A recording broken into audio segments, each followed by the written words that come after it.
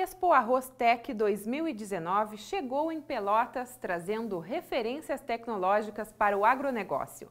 Na sexta edição da exposição, houve assinatura do decreto para incluir a farinha de arroz na merenda escolar, oficinas de receitas à base do grão e palestras abordando temas como pós-colheita, industrialização e muito mais. A nossa equipe esteve presente e você confere agora um resumo desses três dias de evento. Nossas façanhas, a nossas façanhas, a terra. Autoridades políticas e do setor orizícola estiveram na abertura da sexta Expo Arroz realizada aqui no município de Pelotas. O evento, sediado no centro de eventos da cidade, contou com a presença da prefeita Paula Mascarenhas, do presidente da Federarroz, Henrique Dornelles, do secretário de Estado da Agricultura, Pecuária e Desenvolvimento Rural, Covate Filho, e dos embaixadores da Namíbia, Quênia e Tanzânia. A tecnologia esteve presente em todos os aspectos do evento, desde o credenciamento eletrônico até as palestras, que foram todas ministradas assim, com fone de ouvido, para todo mundo conseguir ouvir com clareza o que os palestrantes estão falando.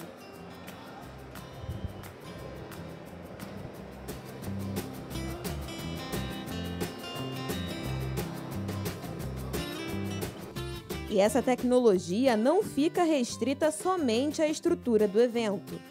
Esse ano, em 2019, a gente agregou o TEC ao nome, porque a tecnologia é o nosso foco desse ano. Então a gente quer agregar valor ao arroz por meio da tecnologia, que é uma questão transversal em toda a cadeia do arroz. Né? A gente tem tecnologia na pesquisa, a gente tem tecnologia na produção, a gente tem tecnologia na industrialização, a gente tem tecnologia na, na logística, até mesmo no consumo dá para dizer que a gente tem tecnologia hoje em dia. A Embrapa trabalha principalmente com tecnologia voltada para a produção. E a BRS Pampa, uma variedade de arroz premium, é resultado desse esforço. Esse tipo de arroz agrega um aumento de R$ 4,00 no preço do saco do produto. É um arroz que tem maior qualidade, né? tanto no beneficiamento quanto no consumo. Então, a preferência do arroz brasileiro é por um arroz longo fino, né? que tenha fácil cocção, que fique macio após o cozimento, mas que fique solto. Então, isso tudo são atributos genéticos que são obtidos né, com o lançamento de variedades.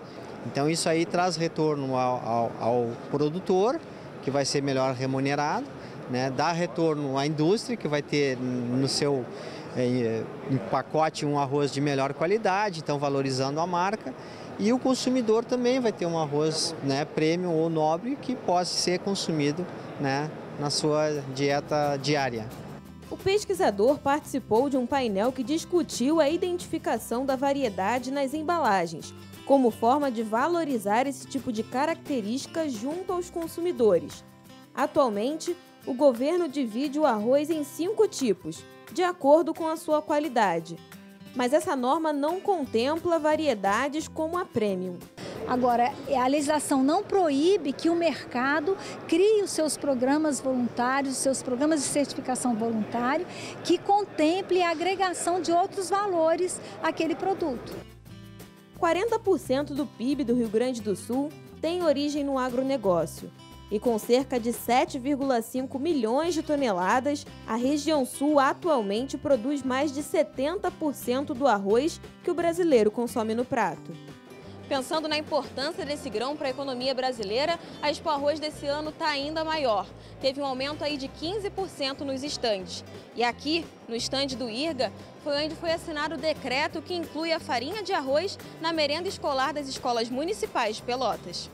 Nós sabemos que as crianças são, né, uh, estão em desenvolvimento, em crescimento e desenvolvimento. Precisam de todos os nutrientes, principalmente os carboidratos que lhe dão energia e as proteínas que desfazem o desenvolvimento das suas células corporais. Então, o arroz, por não ter glúten, é um alimento né, uh, que não causa, então, sensibilidade, é hipoalergênico, não causa alergia, pode e deve ser incluído, então, na alimentação das crianças. E para ensinar ao público receitas com esse tipo de farinha, teve muita gente metendo a mão na massa. Hoje na oficina, então, passei alguns slides para o pessoal falando dos benefícios do arroz, apresentando o arroz, mostrando de onde sai a farinha, que na verdade né, é o grão triturado do arroz. E eu fiz então um bolo com um bolo de canela com leite de coco, né, farinha de arroz, obviamente, e fiz um bolo salgado também de vegetais. Na área da exportação, os custos altos de produção do arroz brasileiro acabam tirando a competitividade no mercado internacional. Por isso, uma parte do evento foi reservada para abordar temas como transporte marítimo, custos de operações portuárias e melhorias de infraestrutura e equipamentos. A privatização de estruturas como a da Companhia Estadual de Silos e Armazéns, a CESA, também esteve em pauta. A intenção da autoridade portuária de passar a operação dessa unidade para iniciativa privada é, isso tem uma relevância muito grande na medida que o arroz tem alguma dificuldade de espaço em relação à, soja no Porto Rio Grande. Então, o equipamento como os armazéns da CESA vem a garantir esse espaço, é, se não tão privilegiado, ao menos preferencial para o grão. E nós tratamos também um pouco de questões, é, vamos dizer assim, de custos indiretos que afetam a logística da exportação do arroz. E todos esses são pontos que formam um conjunto de fatores que auxiliam na competitividade do arroz gaúcho nos mercados internacionais. Maria Laura, pesquisadora da Embrapa, coordenou um painel sobre a certificação oficial do Ministério da Agricultura para os produtos brasileiros. O arroz produzido de acordo com as boas práticas agrícolas inseridas na produção integrada pode ser certificado.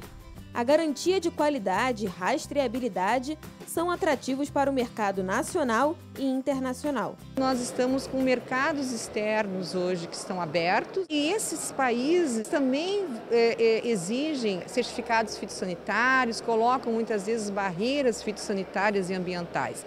E no caso do nosso arroz brasileiro, se ele estiver certificado, com o Brasil certificado, nós vamos ter uma facilidade maior e vamos conquistar outros mercados para o arroz produzido aqui no Rio Grande do Sul, principalmente da comunidade europeia, que exigem muito essas certificações oficiais de governo.